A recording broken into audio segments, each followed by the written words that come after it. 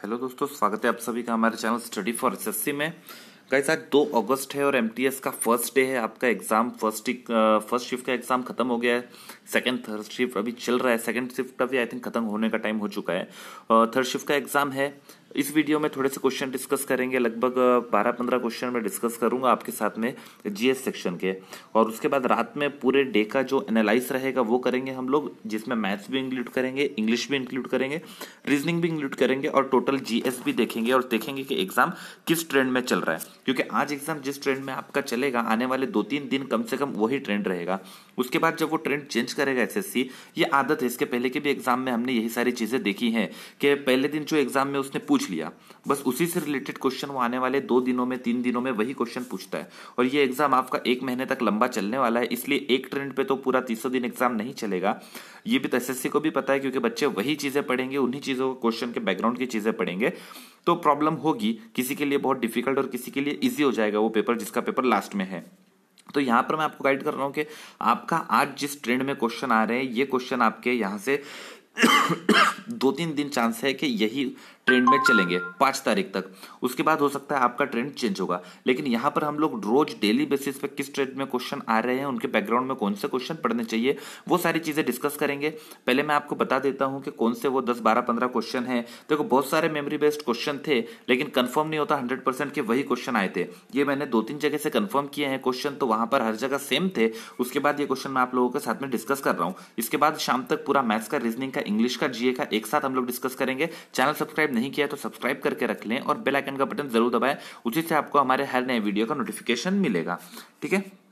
पहले तो ये कुछ क्वेश्चंस हैं, इनका आप लोग स्क्रीनशॉट ले लो। उसके बाद एक एक करके इनके आंसर डिस्कस करते हैं और इनके साथ हमको क्या पढ़ना होगा। आने वाले शिफ्ट में अगर आपका एग्ज़ाम है तो उसके लिए वो चीज़ें देखेंगे।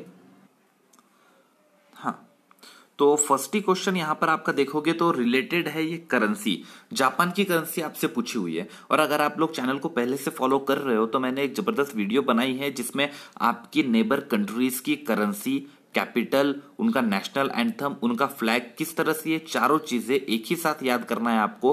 पूरे जितने नेबर्स कंट्री है, उसकी ट्रिक है, आप यहाँ पर ऊपर आई बटन पे क्लिक करोगे तो वहाँ पर उसकी लिंक आपको दूँगा, या फिर आप नीचे डिस्क्रिप्शन बॉक्स में उसकी लिंक आपको मिलेगी। ये दोनों जगह में से एक जगह आपको उसकी लिंक मिल जाएगी तो वहाँ से आप लोग पढ़ सकते हो। अब ये ट्रेंड आपका चलेगा, करेंसी पूछ लिया और कैपिटल पूछेगा। ये देखो सेकंड क्वेश्चन आप देखो देखे तो कैपिटल ऑफ़ चिली पूछा है, ठीक है? करेंसी और कैपिटल काफ़ी इंपॉर्टेंट हो जाता है, यहाँ से आने वाले तीन चार दिनों में। तो करेंसी ऑफ़ जापान क्या है?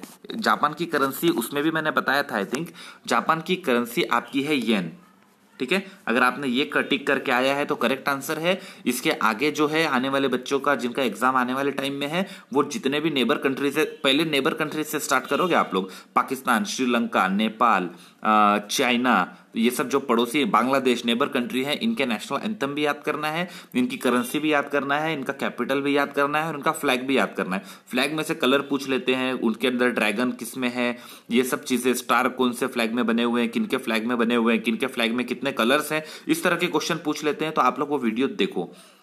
सेकेंड क्वेश्चन हो गया। थर्ड क्वेश्चन है, भारत छोड़ो आंदोलन कब शुरू हुआ था? तो भारत छोड़ो आंदोलन क्विट इंडिया मूवमेंट शुरू हुआ था 1942 में, ठीक है? अब ये क्वेश्चन हो गया इजी क्वेश्चन था। अब इससे रिलेटेड आपको क्या याद रखना है? जितने भी मूवमेंट हुए थे मॉडर्न हिस्ट्री में देखना है आपको, गांधी एरा में, और उससे रिलेटेड भी आजू बाजू में भी देख सकते हो, लेकिन गांधी एरा का खासतौर से ध्यान रखो, जितने भी मूवमेंट हुए थे, उन सारे मूवमेंट कब शुरू हुए थे, किसने शुरू किए थे, ये आपको याद कर लेना है, ठीक है? क्वेश्चन नंबर थ्री से। क्वेश्चन नंबर फोर क्या है आपका? Father of green revolution in India ठीक है? हरित क्रांति का जनक किसे कहा जाता है? ये इस टाइप का क्वेश्चन है। तो इसका आंसर था नॉर्मन बोरलोग ठीक है? यहाँ लिख देता हूँ मैं। इसका आंसर था नॉर्मन बोरलोग ठीक है? अब इससे रिलेटेड अब दूसरी जो क्रांति थी उससे भी क्वेश्चन आएगा तो दूसरी कौन सी क्रांति थी आपकी? ब्लू ब्लू क्रांति थी उसके बाद व्हाइट क्रांति थी तो उसका आंसर क्या होगा? अगर व्हाइट के बारे में आपसे पूछ लेगा तो आप बोलोगे वहाँ पर वेगिस कुरियान और ब्लू के बारे में पूछ लेगा तो अरुण कृष्णन इसका आंसर ये हो जाएगा ठीक है? लिख के रख लो आप लोग या फिर स्क्रीनशॉट तो ले ही रहे हो। आ, जो दूसरा एक्स्ट्रा बता रहा हूँ वो लिख के रख लो साथ में पेन पेपर लेके बैठो। फिफ्थ क्वेश्चन है आपका बाबर का मकबरा कहाँ है? थोड़ा सा प्रिंटिंग मिस्टेक है। यहाँ पर है बाबर का मकबरा कहाँ है? बाबर, अब बाबर से आप दो तीन चीज़ें याद रखोगे। एक तो बाबर है, बाबर का मकबरा आप तो हो गया, इसका आंसर काबुल होगा। उसके बाद अगर पूछ लेगा आपको, हिमायू का मकबरा कहाँ है तो क्या आंसर लिखोगे? उसके बाद अगर दूसरे किसी का मकबरा पूछ लेगा तो क्या आंसर लिखोगे? तो ये चीज़ें आपको याद करनी है। अब अकबर अगर आपसे पूछ लिया कि अकबर का मकबरा कहाँ है तो सिकंदराबाद में है। औरंगज़ेब का बाबर का बेटा हिमायू, उनकी नस्ल की बात हो रही है ना पूरा। हिमायू का दिल्ली हो जाएगा, बाबर का हो गया काबुल बाबर का बेटा हिमायू हिमायू का हो गया दिल्ली, उसके बाद अकबर अकबर का हो गया सिकंदराबाद। और ऐसे ही इंपॉर्टेंट बादशाहों में देखेंगे तो नीचे आ गए औरंगज़ेब। औरंगज़ेब का हो जाएगा औरंगाबाद में तो ये मकबरे हैं। इसके अलावा आप इसमें क्या याद करोगे? देखो, अभी बता दे रहा हूँ, याद रखना, बाद में एग्ज़ाम में ये चीज़ें आएँगी, तब आप याद करोगे कि सर आपने बताया था। इसके बाद में इनका एरा भी आपको याद रखना है। इनका जो शासन काल था, किस सन से लेके किस सन तक था? जैसे यहाँ पर अब बाबर से रिलेटेड एक क्वेश्चन पूछ लिया कि कहाँ पर उसका मकबरा है? अब ये भी पूछेगा ना कि बाबर किस एरा में इंडिया में था? उसका शासन काल सन कहाँ से लेके कहाँ तक था? उसके बाद उसके बाद हिमायू का कहाँ तक था? अकबर का कहाँ तक था? किस सन में औरंगज़ेब का था? बहादुर शाह ज़फ़र कब था? टिप्पू सुल्तान कब था? इस तरह के क्वेश्चन आएँगे। इसी तरह क्वेश्चन कुछ पीछे जाएँगे तो आपको सल्तनत डायनेस्टी से क्वेश्चन पूछे जाएँगे कि लोधी डायनेस्टी मुगल ये अपना तुगलक डायनेस्टी कब थी? लोडी डायनेस्टी कब थी? ठीक है? तो ये क्वेश्चंस आपको याद रखने हैं और इंपॉर्टेंट बैटल्स बैटल से रिलेटेड भी एक क्वेश्चन था, यहाँ पर इंक्लूड किया या नहीं मैंने पता नहीं। हाँ पानीपत का बैटल का क्वेश्चन था। एक एक करके चलते हैं। क्वेश्चन नंबर फाइव आपको बता दिया, बाबर का मकबरा। अब गवर्नर ऑफ़ यूपी यूपी के गवर्नर कौन है? ये करंट से क्वेश्चन है गवर्नर ऑफ़ यूपी अब आपको इसके साथ में जितने भी स्टेट्स हैं यूनियन टेरिटरीज हैं गवर्नर्स चीफ मिनिस्टर्स, ये दोनों चीज़ें आपको याद करनी ही पड़ेगी, ठीक है? गवर्नर भी आपको याद करना पड़ेगा और चीफ मिनिस्टर भी आपको याद करने पड़ेंगे। दोनों चीज़ें करंट अफेयर से रिलेटेड है और इसके अलावा सीएचएसएल से मैं आपको बता रहा हूँ, अपॉइंटमेंट से काफ़ी क्वेश्चन आए थे। मिनिस्ट्री में अपॉइंटमेंट, जो नए नए मिनिस्ट्री में अभी न्यू गवर्नमेंट बनने के बाद नई मिनिस्ट्री हुई है। उससे क्वेश्चन बन रहे थे। इसके अलावा क्वेश्चन पूछा गया था एक, यहाँ पर इंक्लूड नहीं किया है मैंने, राज्यसभा, लोकसभा। सबसे ज़्यादा लोकसभा सीट्स कहाँ से आती है? तो सबसे ज़्यादा लोकसभा सीट 80 सीटें आती हैं यूपी से। उसके बाद क्वेश्चन, अगर ये आया, ये तो आया था सबसे ज़्यादा लोकसभा सीट तो अब आने वाले टाइम में आ सकता है। सबसे कम कहाँ से आती है? या फिर किसी राज्य, जैसे महाराष्ट्र दे दिया रहेगा कि 48 सीट यहाँ से है, जैसे महाराष्ट्र दे दिया रहेगा सॉरी 40 या 48 समथिंग है। सेकंड नंबर पे आई थिंक बिहार और महाराष्ट्र आता है। दोनों में से कोई एक आता है थोड़ी सी मिस्टेक हो रही है, ये आप लोग चेक कर लो।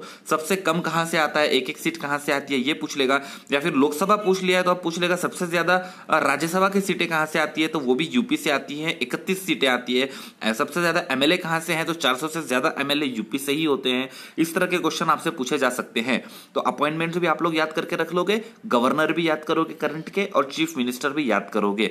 नेक्स्ट क्वेश्चन यहाँ पर है सेवन क्वेश्चन नंबर सेवन है कि पानीपत की लड़ाई कब हुई थी।